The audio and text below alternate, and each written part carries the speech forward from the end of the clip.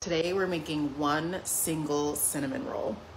Now this is not my recipe. I stole it from, I believe her name is Joy the Baker on TikTok. Go follow her. Um, but we're gonna try it for the first time. Okay, I'm very clearly still in my pajamas and it's raining, so I'm probably gonna stay like this for most of the day. I also have my butter in my pocket because it needs to be room temperature. And if you keep it close to your body heat, then it gets up to room temperature a little bit faster. So here we go, one single cinnamon roll.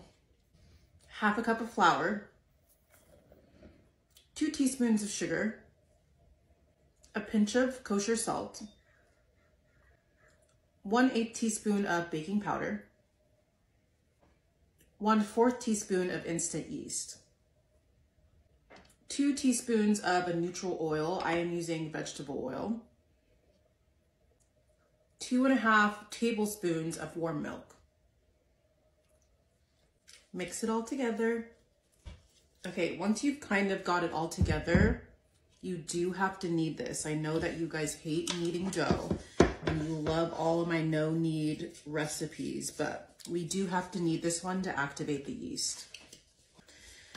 So here we go. The good thing is that this one's not very sticky, so it's not very messy. I'm gonna get my dough scraper.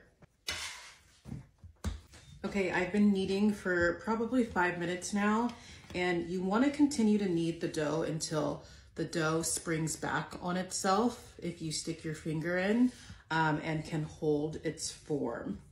So this is pretty done. Now I'm just going to let it rest for about 10-ish minutes just cover it with a clean kitchen towel. Oh, it's very apparent that I have a um, animal print situation here. It's in my hair, it's in my pajamas, and now it's on my towel. Cool. So we're just gonna let that rest for 10 minutes and we'll be back.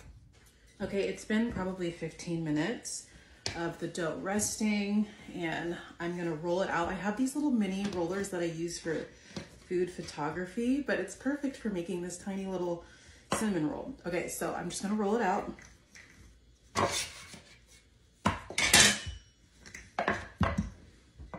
Okay, I just preheated my oven to 350 degrees. I've rolled out my dough and now I'm going to put the room temperature butter on it, add some brown sugar and cinnamon, and then we're gonna roll it up. This is about two-ish tablespoons of butter. I love butter. Brown sugar,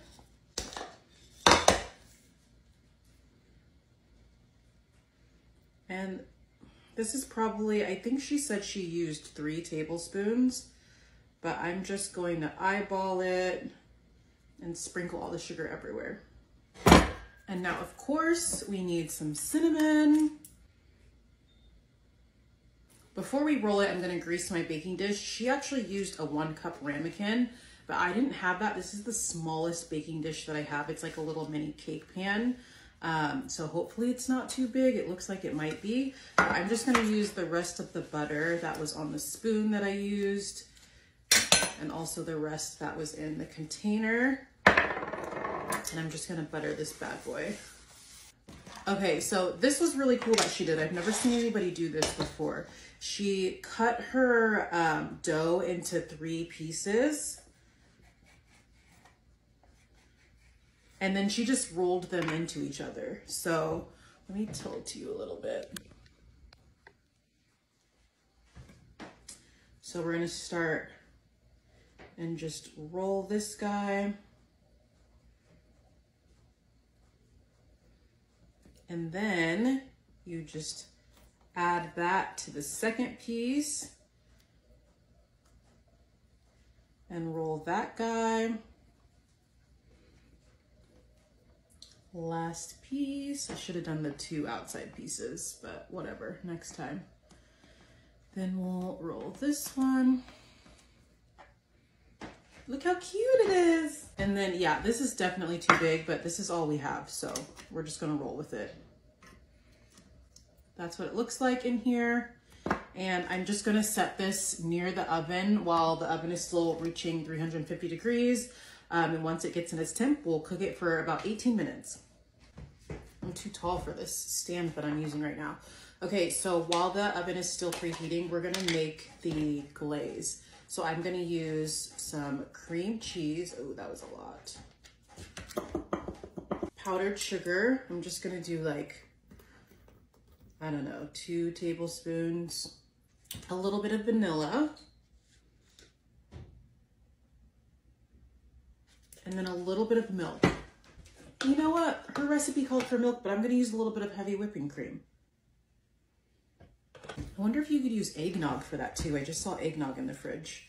I do not drink it. I think it's disgusting, but my husband really likes it. So now I'm just going to mix this all together and this is gonna be a really yummy glaze for our cinnamon roll. Ooh, that looks so good. Now we're gonna stick our cinnamon roll in the oven.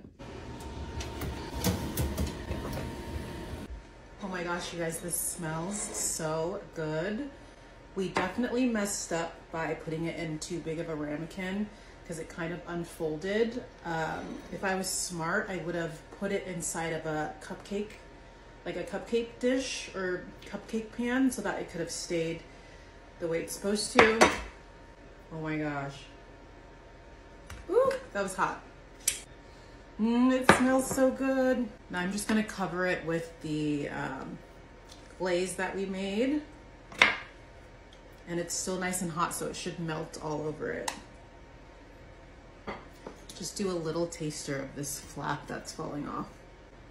Whoop, hot. Mmm. this is a dangerous recipe. Mmm. It's so good.